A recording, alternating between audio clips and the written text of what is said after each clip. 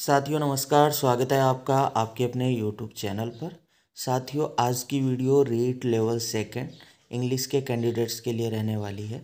अगर आप REET level second English के कैंडिडेट्स हो तो इस वीडियो को लास्ट तक ज़रूर देखिएगा और अपने साथियों तक भी पहुंचाइएगा। साथियों, इस वीडियो में अपन जानने वाले हैं कि रीट लेवल सेकंड इंग्लिश में ऐसे कौन कौन से क्वेश्चंस हैं जिन पे ऑब्जेक्शंस लगे हैं, आपत्तियाँ लगी है और कौन कौन से ऐसे पर्सन है जिसके उत्तर बदलने की संभावना है। ये भी इस वीडियो में अपन जानने वाले हैं और साथ में अपन ये भी जानने वाले हैं कि मुख्य उत्तर की में से पर्सन मिलाने पर कितने पर्सन गलत हुए। कि पहले आपने जो उत्तर मिलाए थे, वो कोचिंग वाली की के अनुसार मिलाए थे और मेन की आने के बाद ऑफिशियल की आने के बाद कितने पर्सन गलत हो रहे हैं या बढ़ रहे हैं। उसके बाद कट ऑफ़ पर इसका क्या असर पड़ेगा, वो भी अपन जानने वाले हैं।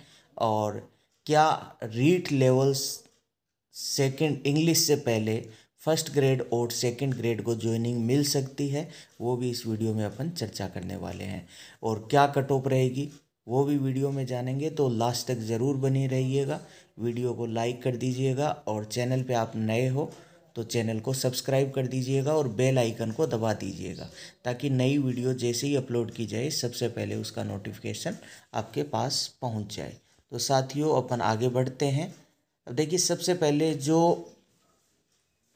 ऑब्जेक्शन लगी है, वो इस पर्सन पे लिखी है। साथ साथ मैं आपको ये भी बता देता हूँ कि कौन से क्वेश्चन में यानी कि रिज़ल्ट है, वो अलग देखने को मिल सकता है। जैसे ये पर्सन है stop tell me what really happen ये बीटिंग इन द बुश इसमें दो ऑप्शन यानी कि कोचिंग वालों ने मान रखा था, एक बीटिंग अबाउट द बुश और एक बीटिंग अराउंड द बुश और जो बोर्ड ने माना है, वो माना है बीटिंग अराउंड द बुश तो साथियों, ये जो क्वेश्चन है, इस पर खूब सारी आपत्तियाँ लगी है। खूब सारी आपत्तियाँ लगी है और कौन से ऑप्शन पे बीटिंग अबाउट द बुश तो इसका देखिए, वैसे देखें तो सी और डी दोनों सही है। ऑप्शन सी भी सही है और डी भी सही है। इसलिए आपत्तियाँ लगी है इस पर और इस पर्सन का क्या असर होगा? साथियों, मैं अभी आप बता, आपको बता देता हूँ। जिनका अराउंड यानी करके आए हैं, वो तो सही है ही है।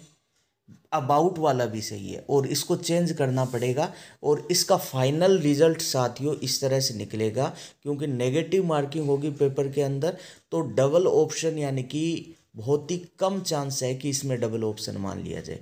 डबल ऑप्शन नहीं माना जाएगा तो इस पर्सन को डिलीट किया जाएगा।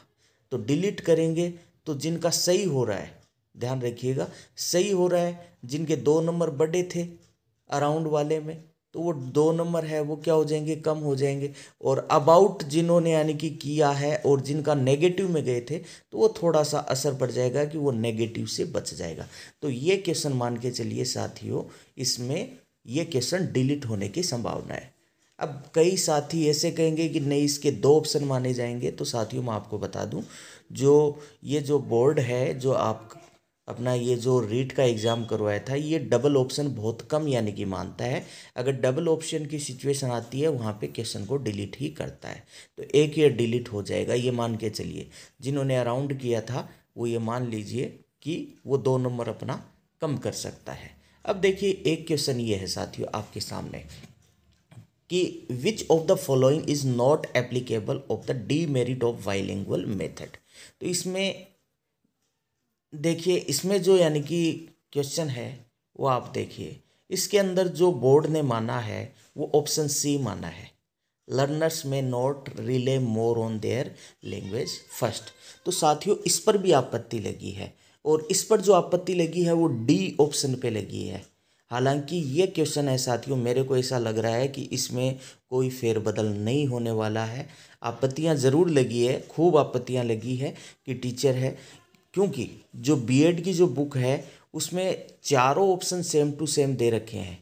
और उसके अंदर क्या नहीं दे रखा है, उसमें नोट नहीं दे रखा है। और इसमें यही पूछा है, वो डीमेरिट के चार ऑप्शन दे रखे थे, इसमें यह पूछा है कि कौन सा डीमेरिट के लिए एप्लीकेबल नहीं है। तो सही मायने में देखा जाए तो साथियों, ये सी सही है, लेकिन जो जी हेल्प जो टीचर है, वो ये बता रहा है कि क्वेश्चन फ्रेम सही नहीं हुआ है। तो यहाँ पे अगर कुछ फ़ायदा हो तो डिलीट हो सकता है, लेकिन कम चांस है। अगर हो जाए तो हो सकता है जिनका गलत हुआ, उनका कुछ भला हो जाए, वरना ज़्यादा ये मान के चलिए कि इसमें कोई संभावना नहीं लग रही है मेरे को। अगर हो जाता है तो अच्छी बात है। अब आगे देखिए, आगे बढ़ते हैं कि which of the following statement is not correct true या true with regard to audio audiolingual method इसमें बोर्ड ने ए ऑप्शन माना है और लगभग ए ही रहेगा। हालाँकि बी पे लगा है, कुछ ऑब्जेक्शंस के लिए प्रूफ भी यानी कि लगा है, लेकिन जो प्रूफ लगाया गया है, वो जहाँ तक यानी कि मैंने समझा है, वो प्रूफ ज़्यादा यानी कि सेट नहीं कर रहा है इस पर अगर हो जाए तो अलग बात है, लेकिन ये मान के चलिए, इसका ऑप्शन ए ही रहने वाला है, और ये जो ऊपर वाला बताया था, इसका सी रहने वाला है। मेरा ये मानना है हाँ बीट अबाउट द जो बुश वाला है, वो ज़रूर हंड्रेड परसेंट डिलीट होगा। उसके बाद देखिए, और कौन सा डिलीट हो सकता है? ये देखिए साथियों, इस पे बोर्ड ने देखिए, जो आंसर माना था, ये डिस्ट्रीब्यूटेड का गेव अवे माना था।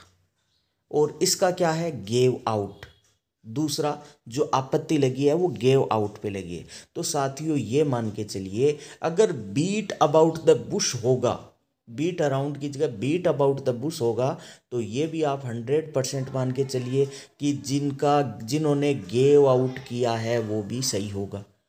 क्योंकि दोनों डिक्शनरी के अंदर दे रखा है। या तो उसका भी कुछ नहीं होगा। अगर उसका कुछ नहीं होता है तो इसका भी कुछ नहीं होगा।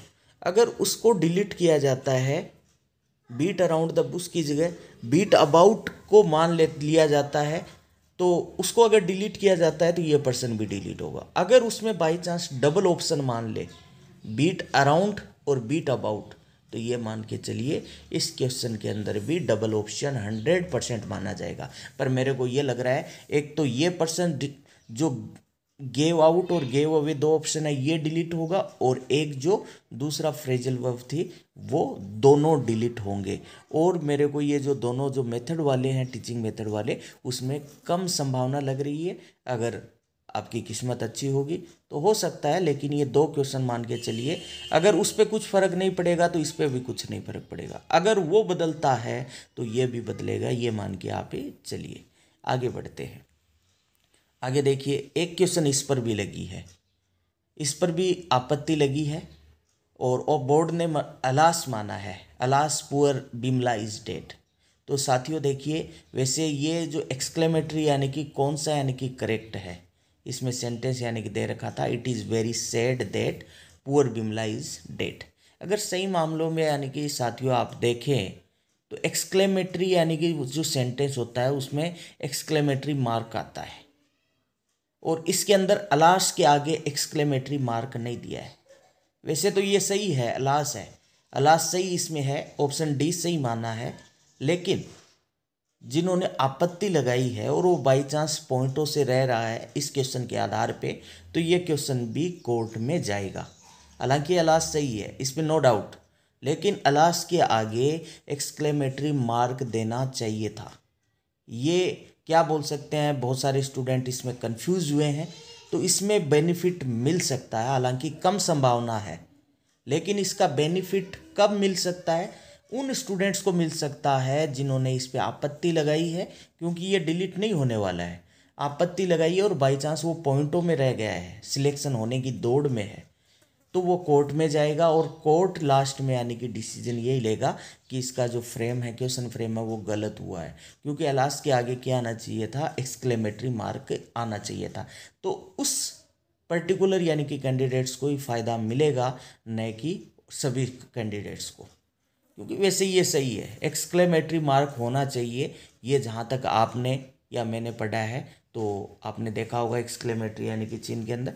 अब ये देखिए, अब आगे बढ़ते हैं। एक देखिए, राजस्थान में कितने कृषि विज्ञान के अंदर है? साथियों, ये जो क्वेश्चन है, ये हंड्रेड परसेंट डिलीट होगा। क्योंकि वर्तमान में सैंतालीस है और बोर्ड ने माना है पैंतालीस। तो ये मान के चलिए, ये हंड्रेड परसेंट डिलीट होगा। मतलब दो क्वेश्चन हो गए, फ्रेजल वर्ब वाले डिलीट और एक ये मान के चलिए, ये डिलीट होगा। जिनकी पहली यानी कि प्रायोरिटी है डिलीट किए जाने की। तो तीन क्वेश्चन ऐसे हैं, अब आगे बढ़ते हैं, जिन पे आपत्ति लगी है। जैसे राजस्थान के कौन से ज़िले में बाणगंगा नदी बेसिन का सर्वाधिक प्रतिशत भाग स्थित है? बोर्ड ने भरतपुर माना है और बहुत सारे कैंडिडेट्स जयपुर मना रहे हैं।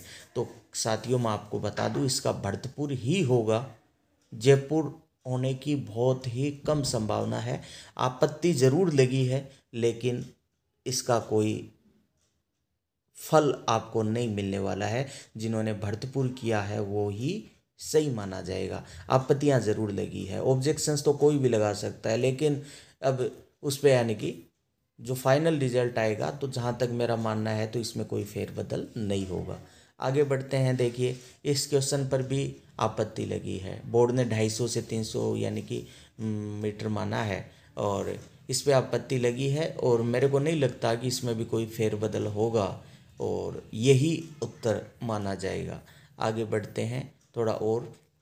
इस पर भी देखिए, बूंदी रियासत के बरड किसान आंदोलन के नेता कौन थे? इसमें यानी कि देखिए, बोर्ड ने माना है न्यूनाराम शर्मा ने नैनू राम शर्मा ने। और एक ऑप्शन देखिए, जो एन की बुक है, उसमें राम नारायण चौधरी भी है। तो साथियों, इस पर्सन पर भी तलवार लटकी हुई है। तो ये भी मान के चलिए डबल ऑप्शन तो यानी कि ये मानिए कि ये जो कर्मचारी बोर्ड है, वो मानता ही नहीं है। वो क्वेश्चन को सीधा डिलीट करता है। जिन्होंने नवीनाराम किया है और रामनारायण चौधरी अगर मान लिया जाता है तो वो मानिए कि अपना क्वेश्चन और जो दो नंबर है, वो कम कर लीजिए। गेव अवे वाले में से यानी कि कम कर लीजिए और दो नंबर इसमें से कर लिए। क्योंकि ज़्यादातर लोगों ने गेव अवे किया है और इसमें न्यूनाराम किया है। और इसका भी अगर बोर्ड मानता है तो मान के चलिए इसमें भी आपको नुकसान हो सकता है और जो नेगेटिव में गया है, उसको यानी कि हो सकता है कुछ यानी कि फ़ायदा मिल जाए। एक देखिए यह क्वेश्चन है। कि निम्नांकित में से बीसवीं शताब्दी में सर्वाधिक तापमान में अंकित किया गया तो इसका बोर्ड ने अलवर माना है। तो साथियों, लगभग अलवर ही रहेगा। हालाँकि ऑब्जेक्शंस लगी है, तर्क ये दिया जा रहा है कि ये आउट ऑफ़ सिलेबस है। तो साथियों, ऐसा कुछ भी नहीं है आउट ऑफ़ सिलेबस वगैरह। तो इसका जहाँ तक मेरा मानना है, वो अलवर से ही रहेगा। तो ये मान के चलिए, तीन, चार क्वेश्चन चार क्वेश्चन ऐसे हैं जिन पे आपको फ़ायदा मिलेगा। जिनके नंबर बढ़ रहे हैं वो कम भी जा सकते हैं और थोड़े से बढ़ भी सकते हैं। हालाँकि ज़्यादा फ़र्क नहीं पड़ेगा। अब साथियों, अपन बात करें, ये अपनी आंसर की, यानी कि जो आपत्ति वाले जो पर्सन थे, वो हो गए। अब बात करते हैं कि कितने पर्सन, यानी कि तक लोगों के गलत हुए हैं। तो साथियों, बता दूँ, जिन साथियों के पर्सन कोचिंग वाली की के अनुसार सही हो रहे थे, उनसे, ऑफिशियल की से चार से पाँच परसेंट नाइन्टी परसेंट कैंडिडेट्स ऐसे हैं जिनके मेरे पास मैसेज आए हैं या मैं पर्सनल जानकारी मैंने जुटाई है तो चार से पाँच परसेंट ऐसे पर्सन है जिनके यानी कि गलत हुए हैं। तो चार से पाँच परसेंट है, स्वाभाविक रूप से ये मान के चलिए कि मेरिट में कट ऑफ़ में असर पड़ेगा। अब कितना असर पड़ेगा ये देखने वाली बात है, लेकिन ये मान के चलिए कि असर ज़रूर पड़ेगा। जहाँ तक मैंने जो कट ऑफ़ बताई थी साथियों, ये बताई थी, जो कि आपके सामने है। और मैं ये मानता हूँ हाँ इससे थोड़ा सा फेरबदल हो सकता है। और फेरबदल होना भी चाहिए।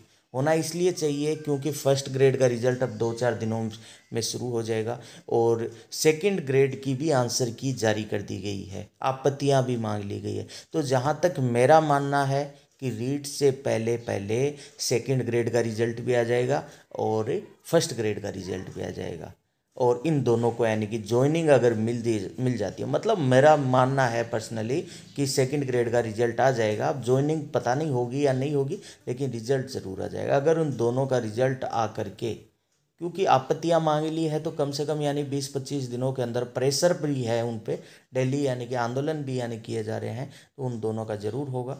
अब बात करते हैं कट ऑफ़ लास्ट में मैंने ये बताई थी जनरल की नाइन्टी फोर से नाइन्टी एट थोड़ा बहुत असर हो सकता है।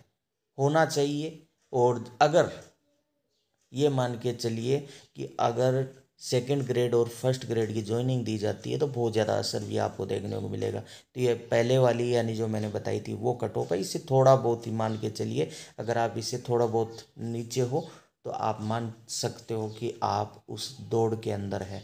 तो साथियों, ये मेरा एक प्रेडिक्शन एक अनुमान था। उम्मीद है आपको ये वीडियो अच्छी लगी होगी। आपका क्या राय है? कितनी कट ऑफ़ जा सकती है? कितने नंबर बन रहे हैं? वीडियो के अंदर, कमेंट बॉक्स के अंदर ज़रूर बताइएगा। और आपने कौन कौन से प्रश्नों पे आपत्तियाँ लगाई है? इन प्रश्नों के अलावा और भी कोई प्रश्न है क्या जिन पे आपत्ति लगी है, वो भी कमेंट बॉक्स में ज़रूर बताइएगा। वीडियो को देखने के लिए धन्यवाद। Thank you very much.